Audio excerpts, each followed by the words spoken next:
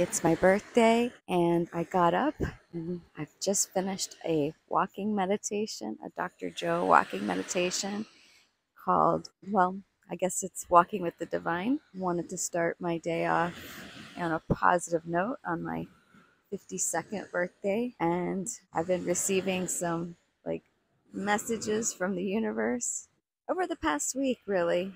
And sometimes it takes a tragedy in your life to really start hearing the messages and embracing them. One of the messages I received is we are all healers in our own way. And one of the ways that I heal is through my voice. My voice opened up. Sorry, there are like no-see-ums here on the beach. And so I'm a little itchy and scratchy because they keep uh, biting me. uh, there's not enough wind today to keep them at bay. But a message I received in the jungle in Peru when I went back in 2021 was, uh, well, it was the gift of opening my voice and singing again because I hadn't sang in a long, long time. And I just started singing out there in the jungle and, and singing in ceremony for the past couple of months, few months. I haven't really, I mean, let's be honest, probably six months. I haven't been practicing my guitar. I haven't been singing, and I've done more singing and playing in the past week than in the past six months, pretty much. So my voice is, it's not the best voice in the world, but it's pretty good. And I need to be sharing my music with people because it's healing when people hear a beautiful song that has lyrics that touch the heart and you know maybe touches them in a way that this time that they hear it that it didn't touch them before all the other times that they heard it because our life changes and and things we go through. And so now certain lyrics will have more meaning in different ways. So i i know i know that it's something i need to be actively pursuing is ways that i can share my music with people. So that is something I will be working on this 53rd year of my life.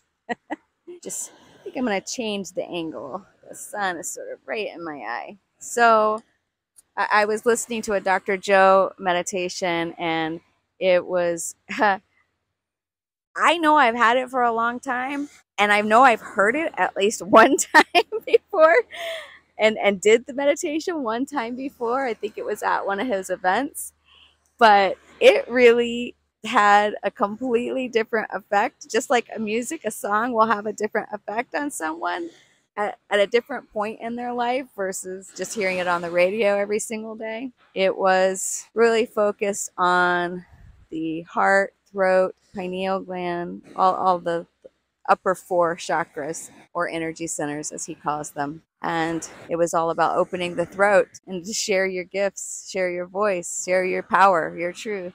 Another thing that it talked about was ah, it was so powerful, you know, how we are all from divine source and be invited to the table of the masters, the alchemists, the magicians, the avatars. I think that's the word he used.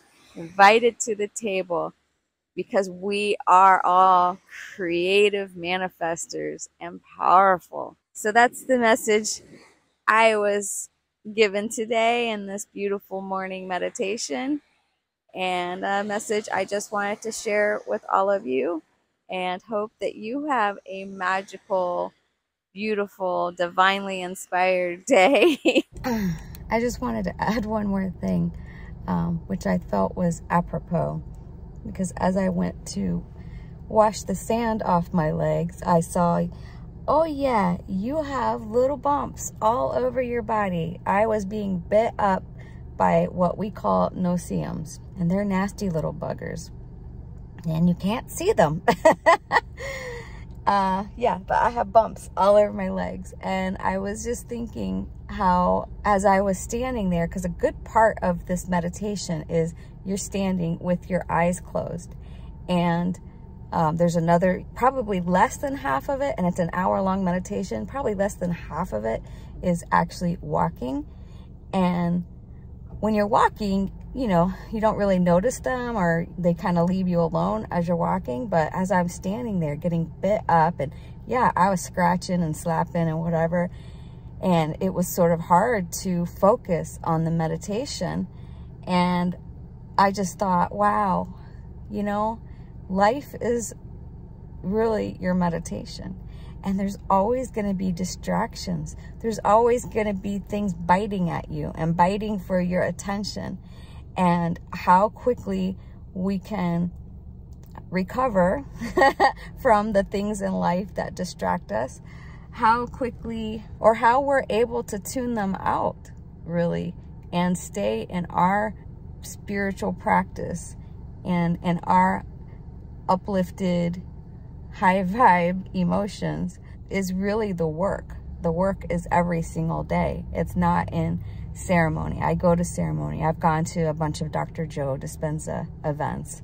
That's not the real work. The work is everyday life. The work is continuing to do the meditation and not just packing up and leaving, which actually in the first 10 minutes I thought about. I was like, this is going to be unbearable. How am I going to get through an hour of this? And I just said, no, you're down here. This is a distraction. Life is always going to have distractions. There's always going to be reasons to give up and, and to quit things when it gets hard.